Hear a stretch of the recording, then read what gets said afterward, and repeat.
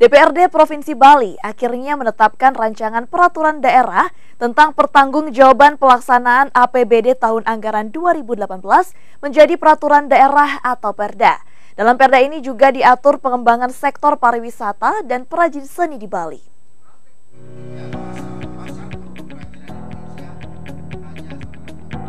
Dipimpin Ketua DPRD Bali Nyoman Adi Wiryatama, rapat paripurna penetapan RAN Perda tentang pertanggungjawaban pelaksanaan APBD tahun anggaran 2018 berlangsung di kantor DPRD Bali, kawasan Renon Denpasar, Rabu siang.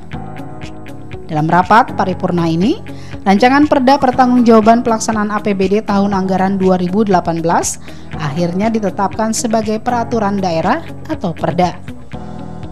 Dalam rekomendasi yang disampaikan Pansus Raperda APBD 2018 Gede Kusuma Putra memberikan lima rekomendasi di antaranya LHP yang diberikan BPK RI perwakilan Provinsi Bali agar ditindaklanjuti segera dan minta agar masalah PPDB tidak terulang.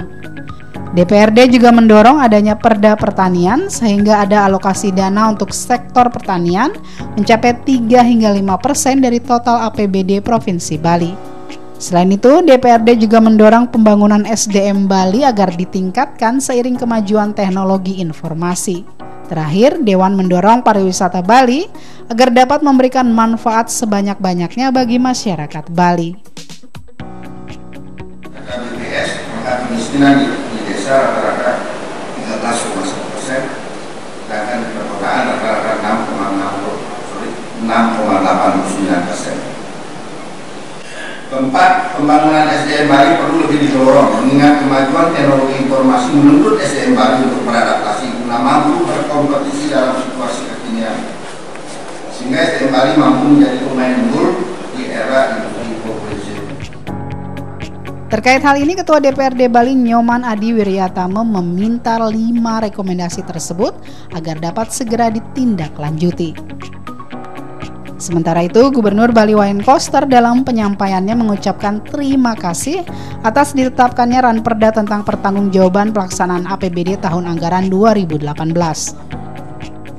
Koster juga akan menindaklanjuti rekomendasi yang disampaikan Dewan dan berencana merampingkan OPD terkait dari 49 menjadi 40 OPD.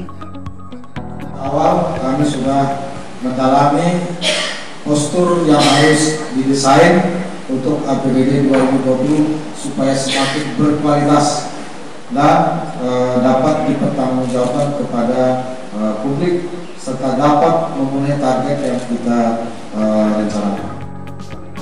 Ditetapkannya Perda tentang pertanggungjawaban pelaksanaan APBD tahun anggaran 2018 ini sekaligus melengkapi Perda sebelumnya seperti Perda Desa Adat dan Perda Kontribusi Wisatawan untuk Pelestarian Lingkungan Alam dan Budaya Bali.